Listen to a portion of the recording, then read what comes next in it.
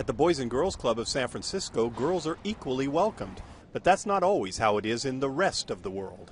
You don't really see women doing science ever. Like even on like TV shows, you don't see like women in a science room. Like you always see the men.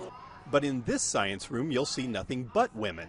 This is NexGeneGirls, a program founded by molecular biologist Marlena Jackson. Six young women from San Francisco's Mission and Bayview districts are trying to break the glass ceiling in scientific research. If you've never saw anyone that looked like yourself doing science, how can you actually see yourself doing it? Today, the high schoolers are teaching younger girls how to use an electrical charge to identify the food colors in Skittles.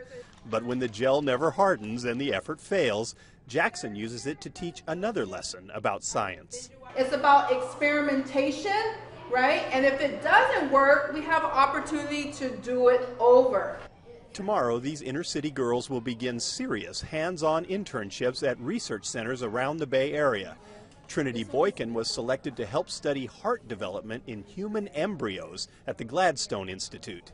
It is really overwhelming. I'm like, whoa, this is a lot. Like, this is real science.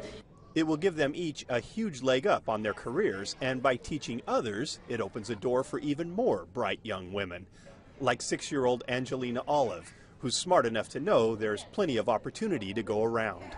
Do you think girls would make better scientists than boys?